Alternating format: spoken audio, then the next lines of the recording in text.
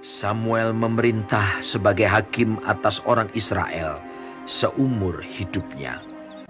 Lalu ia kembali ke Rama, sebab di sanalah rumahnya.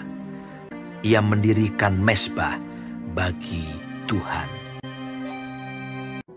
Setelah Samuel menjadi tua, diangkatnyalah anak-anaknya laki-laki Yoel dan Abia menjadi hakim atas orang Israel. Tetapi anak-anaknya itu tidak hidup seperti ayahnya. Mereka mengejar laba, menerima suap, dan memutarbalikkan keadilan. Sebab itu berkumpullah semua tua-tua Israel.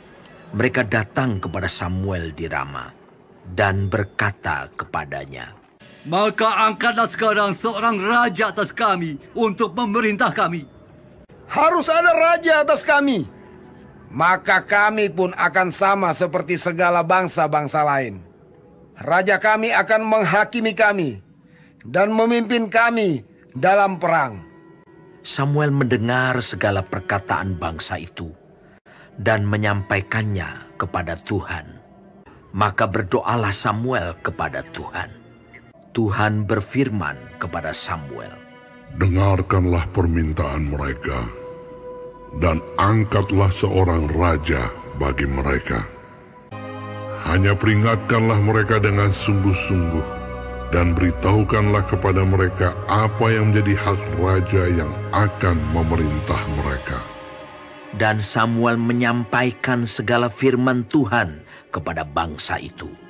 Inilah yang menjadi hak raja yang akan memerintah kamu itu. Anak-anakmu laki-laki akan diambilnya dan dipekerjakannya pada keretanya dan pada kudanya. Mereka akan membajak ladangnya dan mengerjakan penuaian baginya. Anak-anakmu perempuan akan diambilnya sebagai juru masak dan juru makanan.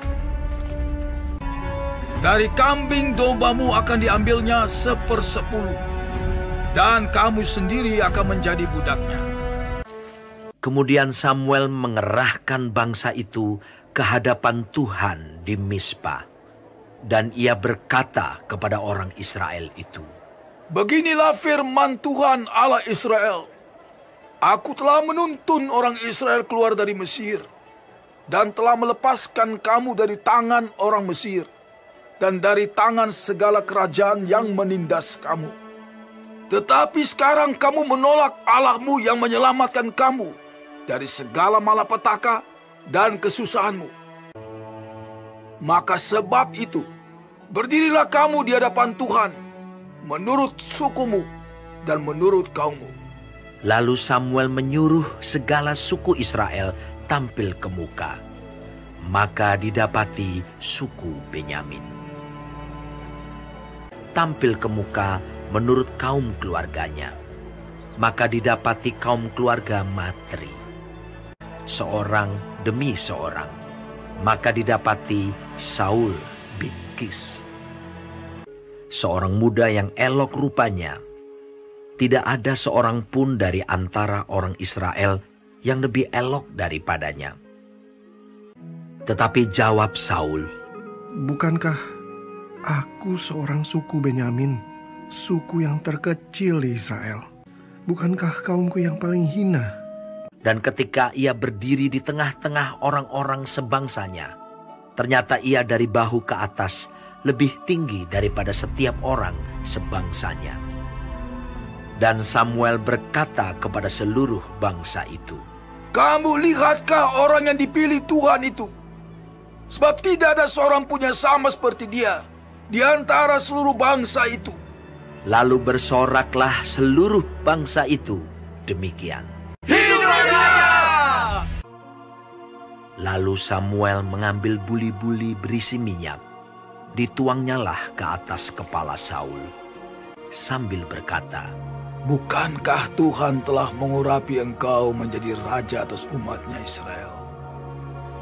Engkau akan memegang tampuk pemerintahan atas umat Tuhan. Dan engkau akan menyelamatkannya dari tangan musuh-musuh di sekitarnya. Kemudian Samuel menguraikan kepada bangsa itu tentang hak-hak kerajaan, menuliskannya pada suatu piagam dan meletakkannya di hadapan Tuhan. Sesudah itu, Samuel menyuruh seluruh bangsa itu pulang masing-masing ke rumahnya. Saul pun pulang ke rumahnya ke Gibea dan bersama-sama dengan dia ikut pergi orang-orang gagah perkasa yang hatinya telah digerakkan Allah.